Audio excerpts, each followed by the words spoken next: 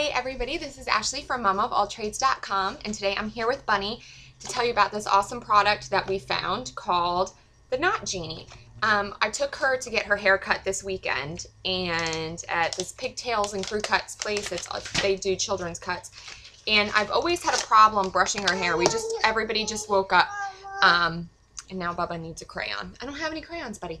Um, so I've always had a problem brushing her hair because it's so thin and it kind of has curl in it that it gets really snarly and brushing it um, has not been fun, right? Right. So the lady at the haircut place took out this brush and she just starts going right through Bunny's hair and she's not complaining. It's not ripping her hair and she actually enjoyed having her hairbrush. So I bought one right away. And this is the teeny genie version. As you can see, it's about the size of my hand.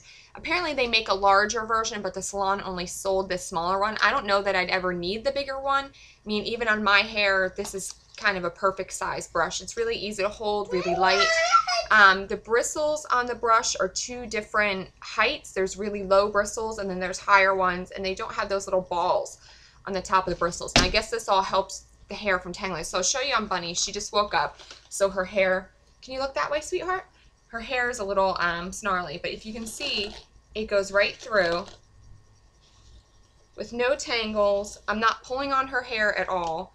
And like even up front where her hair gets all yucky at night from drool or whatever, it just goes right through her hair. It's not ripping out a bunch of her hair and it's act and it also gives her hair a lot of great shine too, which is which is awesome. So I love it. I started using it on my hair.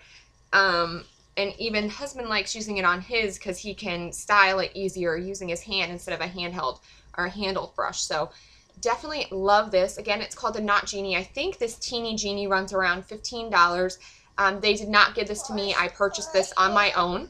Um, now Bubba wants his hairbrush. So that's all for today. Um, again, this is Ashley at momofalltrades.com, and we'll talk to you again next time.